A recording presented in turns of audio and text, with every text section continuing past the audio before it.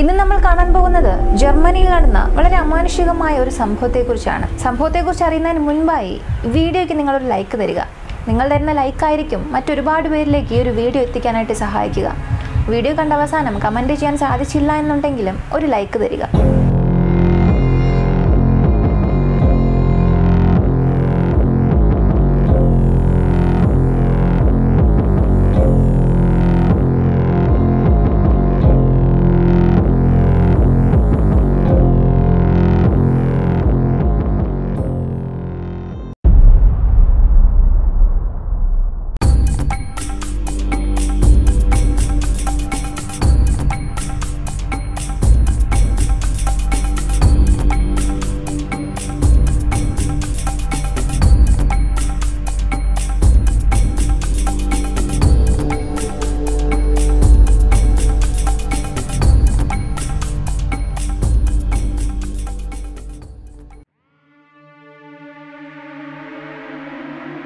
ആയിരത്തി തൊള്ളായിരത്തി അറുപതുകളിൽ ജർമ്മനിയിൽ സിഗ്മണ്ട് ആദം എന്ന ഒരു വക്കീലുണ്ടായിരുന്നു. ഇദ്ദേഹം തന്റെ ഓഫീസിൽ രണ്ടുപേരെ സഹായത്തിനായി വച്ചിരുന്നു.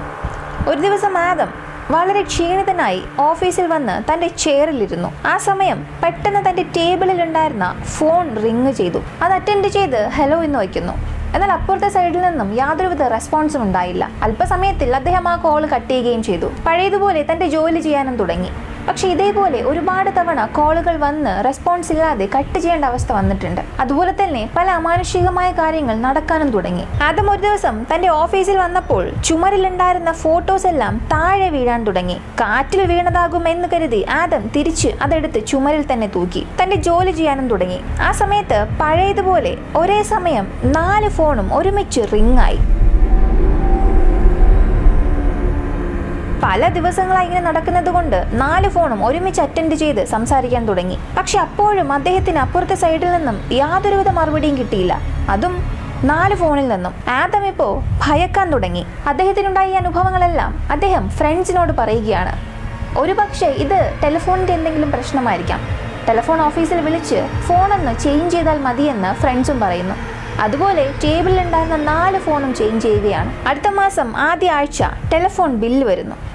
അത് കണ്ട് ഞെട്ടിപ്പോവുകയാണ് ആദം. ആ ബില്ലിലുണ്ടായിരുന്നത് ആ ടേബിളിലെ നാല് ഫോണിൽ നിന്നും ഒരു മിനിറ്റിൽ ആറ് കോളുകൾ സംസാരിച്ചതായി കാണിക്കുന്നു. എന്നാൽ അങ്ങനെ സംസാരിച്ചിട്ടേ ഇല്ല. ഒന്നും മനസ്സിലാക്കാത്ത അയാൾ ടെലിഫോൺ ഓഫീസിൽ കോൾ ചെയ്യുന്നു. എഞ്ചിനീയറിനെ വരുത്തി എന്തെങ്കിലും പ്രശ്നം ഉണ്ടോ എന്നുള്ളത് പരിശോധിക്കുന്നു. എന്നാൽ ടെലിഫോണിൽ അങ്ങനെ പ്രശ്നങ്ങളൊന്നും തന്നെ ഇല്ല. പോയ കോളുകളെല്ലാം ഈ ഫോണിൽ നിന്ന് തന്നെയാണ് എന്ന് എഞ്ചിനീയർ ഉറപ്പിച്ചു പറഞ്ഞു. ഇത് കഴിഞ്ഞ് കുറച്ചു ദിവസം അദ്ദേഹത്തിന്റെ ഫോണുകളിൽ ഒന്നും തന്നെ കോൾ വന്നതേയില്ല ഒരു ദിവസം അയാൾ ജോലി ചെയ്തുകൊണ്ടിരുന്നപ്പോൾ അയാളുടെ തൊട്ടടുത്തുണ്ടായിരുന്ന അലമാര താനെ ചരിയുകയും അല്പസമയത്തിൽ അത് നേരെ നിൽക്കുകയും ചെയ്തു. കൂടാതെ ചുമരിലെ ഫോട്ടോസ് എല്ലാം താനെ തലകീഴായി മാറുകയും അടുത്ത ചില സെക്കൻഡിൽ ശരിയായ രീതിയിലാവുകയും ചെയ്തു. ആദമിന് ഇതെല്ലാം കൊണ്ട് ഭയം കൂടാൻ തുടങ്ങി. കത്തിക്കിടന്ന ബൾബ് താനെ പൊട്ടിത്തെറിക്കാൻ തുടങ്ങി.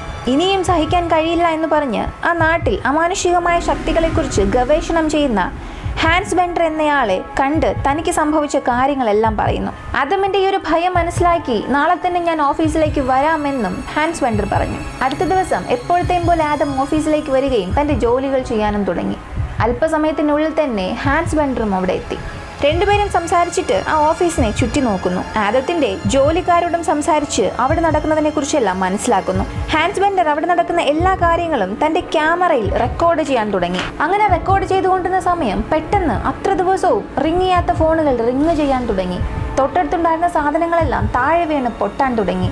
ഇതെല്ലാം തന്നെ ആ ക്യാമറയിൽ റെക്കോർഡാകുന്നുണ്ടായിരുന്നു ഇങ്ങനെ പല ദിവസം ആദമിന്റെ ഓഫീസിൽ നടക്കുന്ന അമാനുഷികമായ കാര്യങ്ങൾ എല്ലാം റെക്കോർഡ് ചെയ്തു. അത് കഴിഞ്ഞ് താൻ എന്ത് കണ്ടുപിടിച്ചു എന്നുള്ളത് ഹാൻസ് ബെൻഡർ ആദമിനോട് പറഞ്ഞു. അതായത് ആദമിന്റെ ഓഫീസിൽ സഹായിയായി ജോലി നോക്കുന്ന മേരി എന്നൊരു സ്ത്രീ ആ ഓഫീസിൽ എപ്പോഴെല്ലാമാണോ ഉള്ളത് അപ്പോൾ മാത്രമാണ് ഇങ്ങനെയുള്ള അമാനുഷികമായ കാര്യങ്ങൾ സംഭവിക്കുന്നത്. അത് കഴിഞ്ഞ് ആദം പഴയ കാര്യങ്ങൾ ചിന്തിച്ചു നോക്കിയപ്പോൾ മേരിയെ ജോലിക്കെടുത്തതിന് ശേഷമാണ് തന്റെ ഓഫീസിൽ ഇങ്ങനെയുള്ള കാര്യങ്ങൾ നടക്കാൻ തുടങ്ങിയതെന്ന് അയാൾക്ക് മനസ്സിലായി. മേരിയോട് ഇതിനെക്കുറിച്ച് ഹാൻഡ് ബെൻഡർ ചോദിച്ചപ്പോൾ അവൾ പറഞ്ഞ മറുപടി എനിക്ക് ആദമിനെ ഇഷ്ടമില്ല.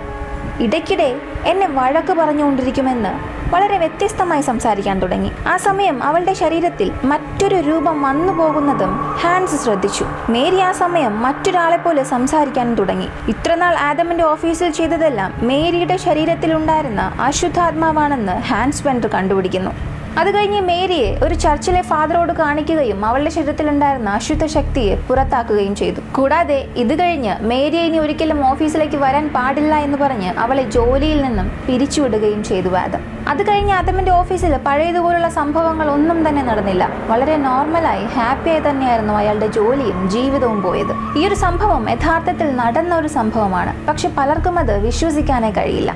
എന്തായാലും ഈ ഒരു സംഭവത്തിനെ കുറിച്ചുള്ള നിങ്ങളുടെ അഭിപ്രായങ്ങൾ എന്താണെന്നുള്ളത് മറക്കാതെ കമന്റ് ചെയ്യുക. മറ്റൊരു വീഡിയോയുമായി വീണ്ടും കാണാം.